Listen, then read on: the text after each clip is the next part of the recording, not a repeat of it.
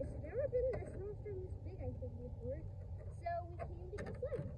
I just want to make a quick video. Right now, here we are in Pagini Ranch Park.